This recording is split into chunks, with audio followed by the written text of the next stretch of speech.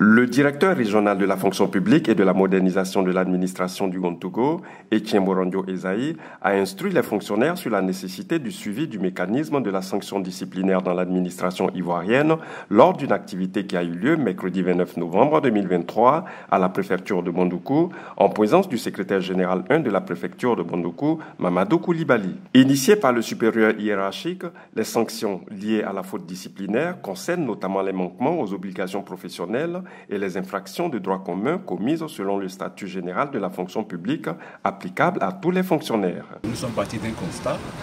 Euh, malgré les activités de sensibilisation qui sont faites euh, à l'endroit des fonctionnaires et agents de l'État en région sur les droits et obligations, nous avons remarqué que ces agents-là ne sont pas encore séparés de leurs mauvaises pratiques. Et comme il existe un levier qui est prévu par le statut général de la publique, en, l'occurrence euh, la procédure disciplinaire, était tout à fait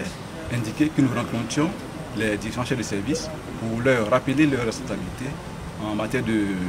contrôle, de, gestion plutôt des personnels placés sous leur autorité. Le refus d'assurer le service avec loyauté et dévouement, la corruption, l'insubordination, les absences irrégulières, le manque de discrétion professionnelle et de réserve, le refus de rejoindre son poste d'affectation, le vol, le meurtre, l'atteinte à la pudeur, entre autres, sont réprimés par les sanctions du premier et second degré. Dans cette localité, le secrétaire permanent de l'Observatoire du service public, OZEP, Lucien Kakou, avait procédé mardi 17 octobre 2023 à la remise officielle d'une bonne tactile au préfet de Bondoukou, en Dukwa, pour l'amélioration de l'accès des populations aux services administratifs lors d'une cérémonie à la préfecture.